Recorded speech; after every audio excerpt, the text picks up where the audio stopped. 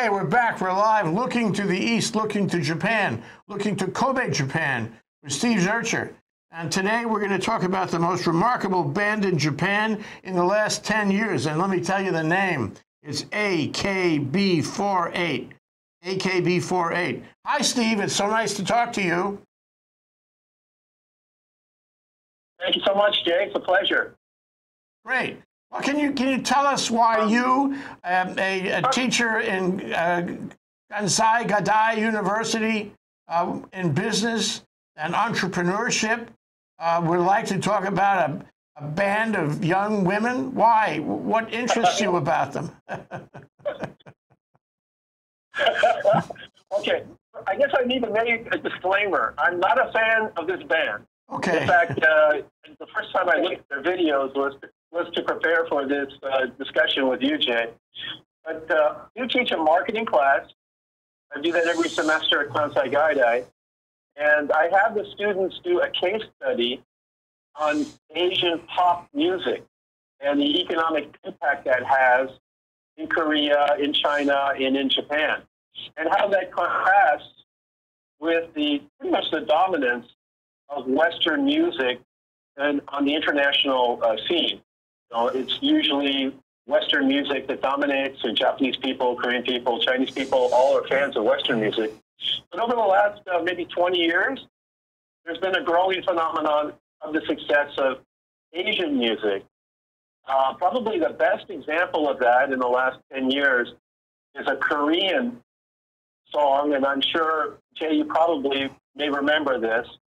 It was called Gangnam Style by a, a kind of a low level Korean musician named Psy. He was not well known in his country, but he released this video and it went viral. I checked this morning before our call, and 3.5 billion. Oh, geez. That's with a B. 3.5 billion views. Yeah, that's, yeah, that's it, almost it as popular as that's almost as popular as Think Tech Hawaii. Same not, Jay. Absolutely. yes, exactly. So, so anyway, uh, you know, I've, I've, been doing this case study in the class on Asian pop, and uh, one of the things that we look at is Japan pop music, which has not been so successful uh, internationally as uh, Korean music has. Uh, there's this example of Gangnam Style, and also, there's a band from Korea right now that has international success. It's actually very popular in America. It's called BTS. That's a boy band. Mm-hmm. So that's like One Direction, or you know, I don't know how familiar Jay you are with uh, boy bands and girl bands. I'm kind of guessing maybe not. Uh, so uh, let me, let me, BTS. Full They're disclosure, I know. Full disclosure, I know nothing about it. okay. All right.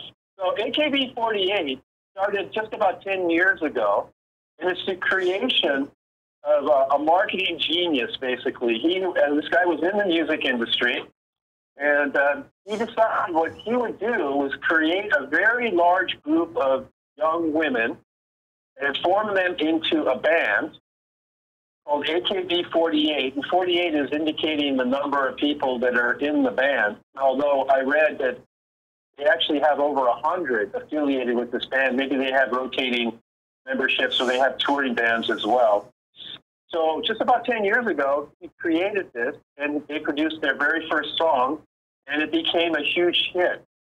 The reason why this is so interesting from a marketing perspective is that Japan has had a history of successful, what they call idols. These are pop musicians that become very famous but they're viewed from a distance. You see them in the concerts, but they don't really interact with their fans directly. And the genius behind this particular band was that he made these idols, these females in the band, accessible to the public. So they would perform on a nightly basis in a theater in Akihabara, which is kind of the tech area of Tokyo. And then after that, uh, if you had the proper ticket or you paid the, paid the right fee, you would actually be able to interact. You could meet the girls that were your favorite. in this band. Mm-hmm. This was the first time anybody had done this type of thing, making the talent, making these idols, making these pop stars uh, available to the fans at various meetings and so forth. And it just took off. They have sold 60 million CDs over the last 10 years. They're the most popular female band in Japan ever. They're the second most popular band in Japan ever.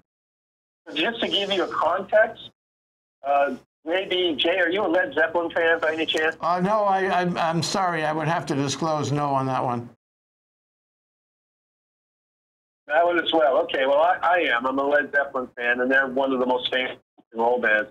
They have sold worldwide the equivalent number of records, 60 million. So Ah, AKB in Japan primarily has sold the equivalent number of records or CDs as Led Zeppelin, which is an internationally famous band, uh, you know, from the 1970s and 1980s. yeah, in a longer So period the of time. strategy that they use uh, Led Zeppelin would in have a much longer period of time. much longer period of time.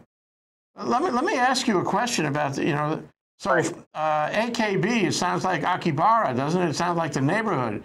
AKB what does it stand for? Yeah, that's good. That's that's you're probably right, Jay. That's a very good guess. I'm not sure, but I would say that that's probably where it comes from, because they set up a theater in Akihabara, and rather than having you know tours and periodic shows, they actually perform every night, and their fans can get access and see them. That's So incredible. So now you say whole- that you say that there's purpose of it- originally 48, 48 young ladies, but in fact many more than that. And I guess my question is, it how how does this promoter handle over the last ten years? How does he handle the comings and goings? Because if you want to make them iconic, you want to make each one, you know, a darling of the generation, so to speak. And I and I guess it's the millennial oh. generation mostly. Um, what, what happens when they leave? What happens when he replaces Well, them? So that, Jay, as usual, you're asking excellent questions. So the guy who created this, his name's Akimoto, he figured out that what he could do to generate interest in this band is that the general public here in Japan would see all of these different girls, and every year he would have an election and asked the fans to vote for their favorite. So the girls ended up being ranked, you know, like a college football team or like American Idol or something like that. So it's a, a mixture of pop music and marketing and democracy of voting. So every year there'd be the number one girl, the number two girl, the number three girl, and uh, this would generate more interest in the band. The number of people who vote in the elections was just astronomical. It was national news whenever this tally was finally recorded. and then, as you asked in the question, when these girls they're targeting maybe like 17, 18 to like 22, 23. When the girls begin to get 24, 25, they're kind of aging out of the age limitations that are set up on the band. So if the girls are particularly popular, um, they are given like a goodbye party or a goodbye celebration. Oh no. Some have gone on to create their own independent careers. Uh huh. But he used that aspect when the girls graduated, quote unquote. Uh, the band that turned into a major marketing event as well. So it's it's all about marketing. This guy figured out, okay, this is how Japanese pop music works. Uh huh. The the pop idols are not accessible. I'll make these girls accessible. He writes the music for them, so these girls who are 18 years old are singing songs written by a 60 year old guy. And uh, he's controlled all aspects of this, and I, I can't imagine how much money he's made. It's just been a phenomenal amount. Well, I know. I noticed they're all the good looking. marketing promotion. All, all of them are good looking, uh, and and young and well and well dressed. They're pretty. They present very well. But you know, Query, are they are they talented? Do they can they actual actually sing? Is the music worth listening to, or is that sort of secondary? Uh, it's not even secondary. I'd say that that's tertiary or maybe even further down. Uh, you know, this is again my opinion. Japanese pop music is almost unlistenable uh, in most instances. Now, there are some exceptions. There's some very good Japanese singers and uh, so forth, but usually this type of music, when we Westerners hear it, it, it's almost almost borders on torture. But that's not the point. The point is they're cute. You can meet them. You know, you can vote for them, and so forth. Just to show you how maybe extreme the market goes. About five years ago, they came up with this campaign, and basically it was called "Make a Baby with AKB48." So Jay, I know you've been married a long time. You're not in the single dating pool, but there are services. Full disclosure, right, Jay? All right. Yes, full disclosure. okay. Okay. so there are dating services where you can send your picture in and then match it with a picture of a prospective woman that you want to go out on, and then they'll merge your pictures together and have a picture of what your baby potentially would look like. So AKB 48 did this and ran a campaign. So if you became an AKB club member, which is like maybe 15 or $20 a month, you could send your picture to the website with the girl that you like the most, and then they would send you back a picture showing what potentially your son or your daughter would look like if you were to have a child with this girl. Oh my God! Oh my God! It's it's facial recognition. It's and it's uh, AI. It's artificial intelligence. yeah, exactly. So they were yeah doing photo matching. So this ran like in 2011, 2012. I remember catching it in the news services. I talked about it with my students, and most of them were grossed out about it. But anyway, that just showed the extent of the marketing to try to get the fans involved. And last thing, Jay, your question before, you would think that the, the fan base uh, for this band would be younger women, but actually it's not. It's older guys. Ah. So they create a fantasy relationship with the AKB48 members, and then they say, okay, buy the CD, buy the membership, the club membership, buy the ticket, that allows you to go and meet these girls. You can meet your favorite one there, which I guess would be a big thrill if you were really interested in that. And as a result, the number of sales per individual, rather than just buying one CD, they would buy one or two or three or four. Then they would vote for their favorite girl to try and increase her ranking in this annual election and so forth. So there was one guy who bought 530 CDs of AKB 48. one guy. I know. It's remarkable. Well, you know what I would like to study with you, Steve? I would like to study this from the point of view of, um, you know, the, the marketing, namely the identification of those elements in the Japan community, in the Japan culture, uh, that would that would allow this to happen, where this guy um, he said to himself, well, I, I, I want to take advantage. I want to, I'm, I'm an opportunist. I want to take advantage of these aspects of Japan culture, and I want to market around that. I want to create this and make all this money. And I would like, you know, you know, a, sort of a discussion, if, if you don't mind, with you in the classroom, and you have your students, and uh, you're trying to identify what is it exactly that the guy, what is the magic, the secret sauce Let's take a, a short break, Steve. Then we'll come back and we'll, and we'll look. We'll analyze this okay. from an academic point of view. All right, we'll be right back. Hello, I'm Mufi Hannemann. I want to tell you about a great show that appears on Think Tech Hawaii. It's all about tourism. In fact, we call it Tourism 101, where we talk about the issues and challenges that faces our number one industry throughout the state. We'll have some interesting guests, very informative dialogue, and allow you an opportunity to maybe learn a little bit more about why this industry is so important for our state. It's been great for us in the past, we need it today, and especially going forward. That's Tourism 101 on Think Tech Hawaii. Mahalo. Aloha, my name is Victoria, and I'm a host at the Adventures in Small Business. This is a collaboration between U.S. Small Business Administration, Hawaii District Office, and its partners, where we showcase the stories of local entrepreneurs and small businesses talk about how to start a business, talk about great tips for small business owners. Uh, please join us every Thursday, 11 a.m. at Think Tech Hawaii Um, see you soon. Mahalo.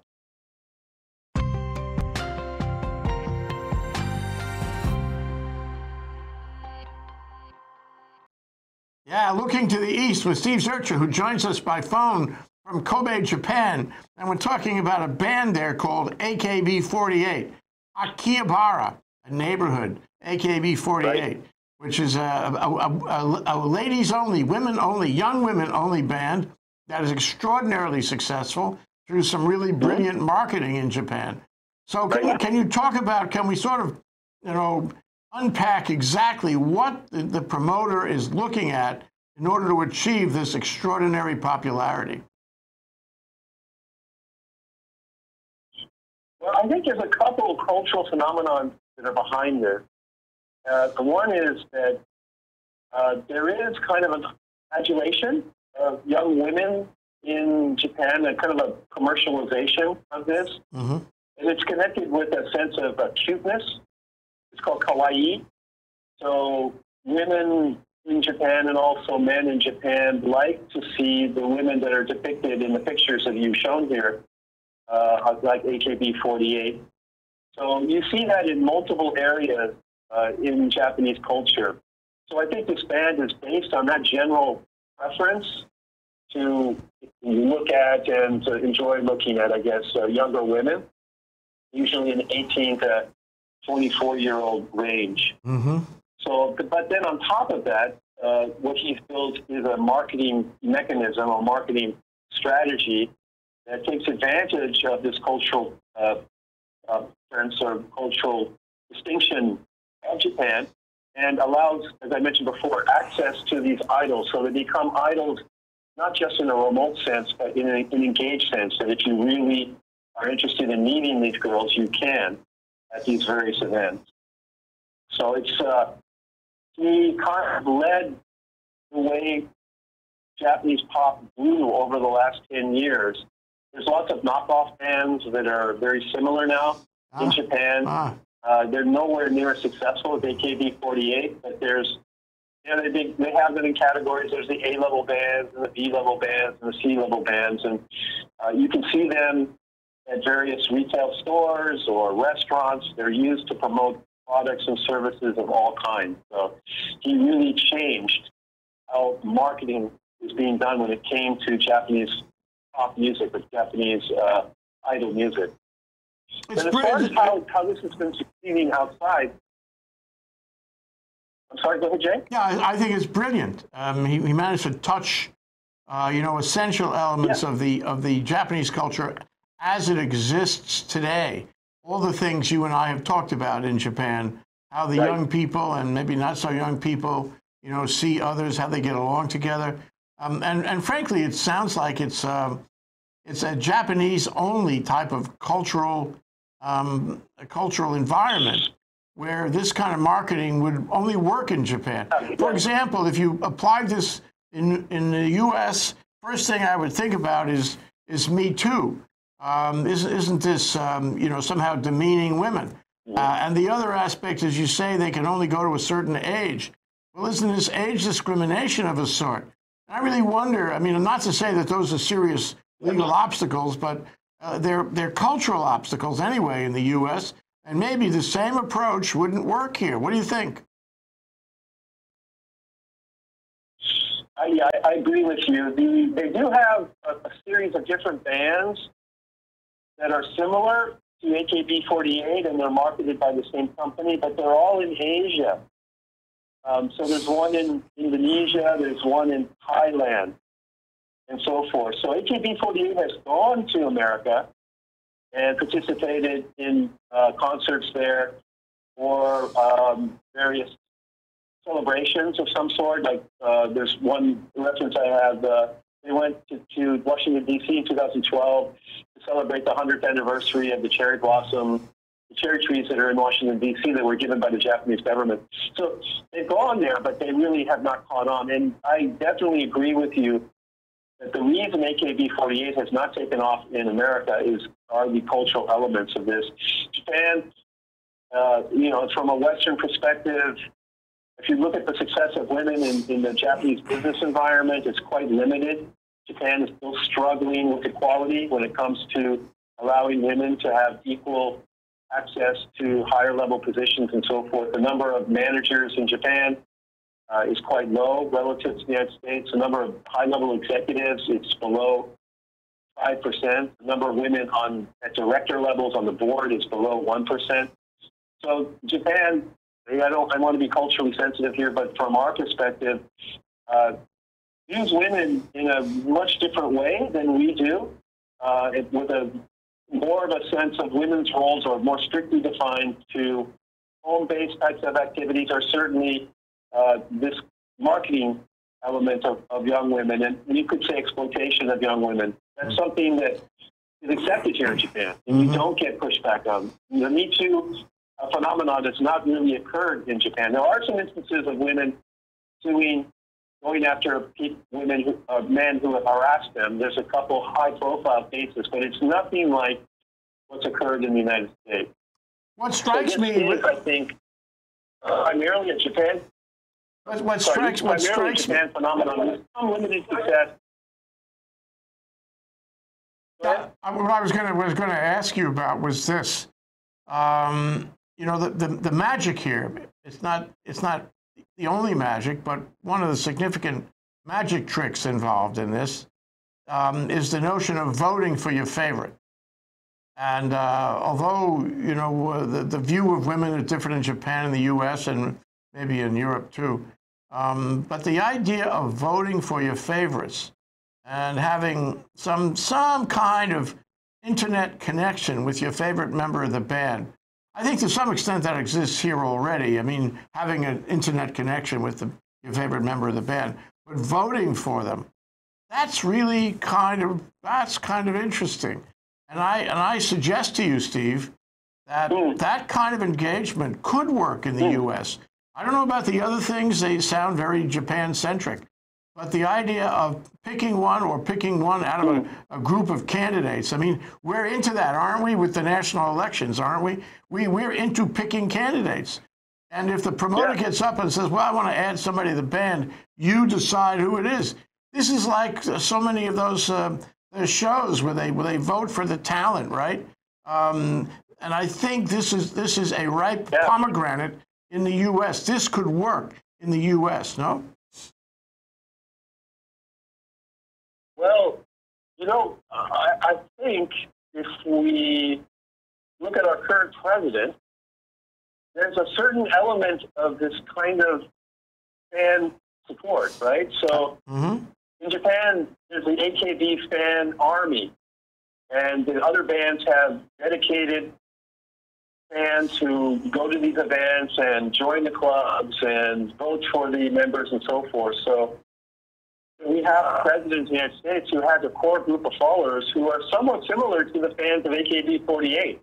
You know, they're dedicated to him and supportive of him, and you know, no matter what, they're going to vote for him. So, I think some of this marketing phenomenon that's been applied to AKB48, you can see in the United States, maybe at, at the election level. Also, uh, some bands uh, or some uh, artists, I, meant, I, mentioned to you earlier that uh, uh, Taylor Swift so she sells regular CDs, but she also sells deluxe CDs. And within those deluxe CDs, there are her personal journals. So she's beginning to share herself in the same sense the AKB48 members share themselves with their fans. So she's adopted that policy to sell CDs at a higher value. And also Travis Scott, who's a rapper, he's quite uh, popular right now, is bundling merchandise with his music as well. So some of the popular American uh, idols, American uh, pop stars, are doing something similar uh, to AKB48, but, but not as as wild and not as as extended, and you know doesn't involve the voting aspect of it. At least, and Taylor Swift is one one just one individual star, so, mm-hmm. and Travis Scott is just one individual star. I don't know in America, I can't really think of.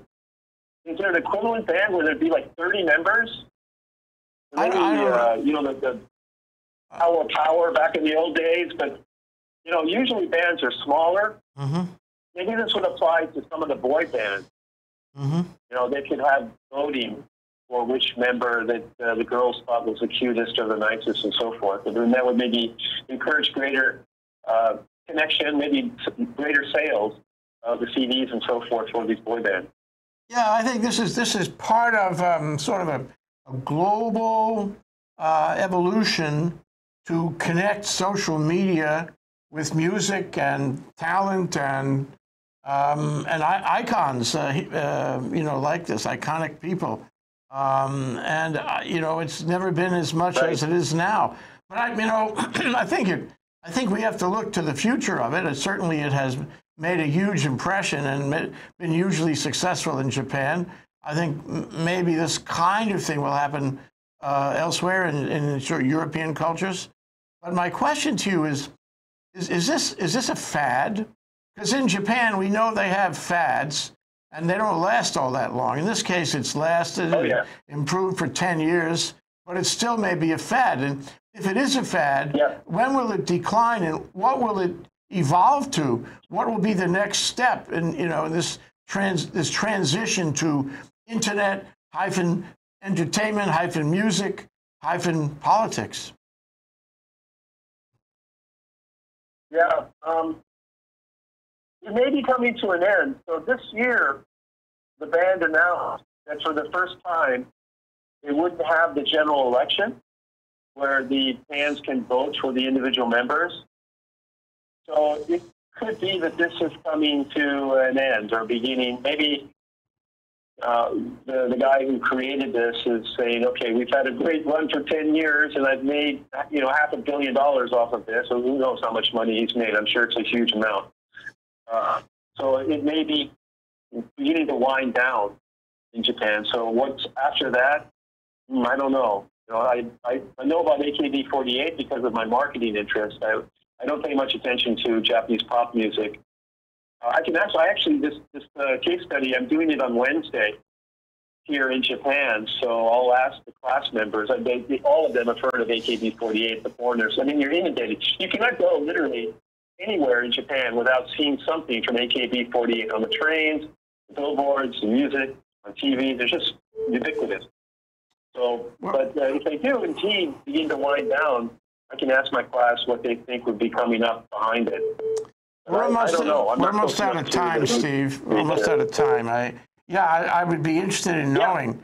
Yeah. Um, the other, the other thing here is uh, I want to thank you for uh, introducing me to the subject because, as I disclosed earlier, I know nothing about bands, either in Japan or in the United States. Um, and now I feel that I am enriched, that I know a lot more. And uh, I think you and I have something more in common now. We both know at least a little bit about these bands. And maybe, maybe next time for our next show, we can, we can sing together, Steve.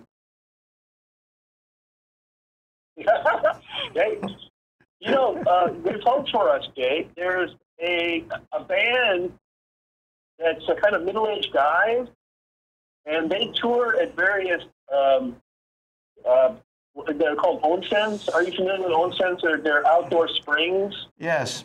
And the target market for this band is older women.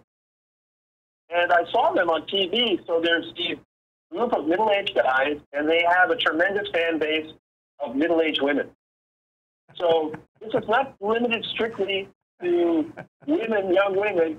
Jay, you and I, we could actually form a band, and maybe we could be successful here in Japan. Okay, Steve.